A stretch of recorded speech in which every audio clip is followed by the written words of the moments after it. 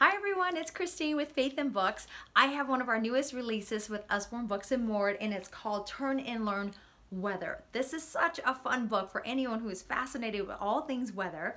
Um, this is for ages 7 to 12, and inside each page, you'll find all kinds of fascinating facts about our five weather systems. You can see the beautiful, colorful pages, and each page will have one of these slides that slides over and it changes the picture. So I will show you this one on rain, for example. It says water vapor makes clouds from which rain falls. And so if you slide this and you turn the picture there, and it says moisture rises when the sun heats the ocean. So this just makes it really fun and engaging for our readers as they learn about our weather systems. Again, this is Turn and Learn Weather for ages 7 to 12.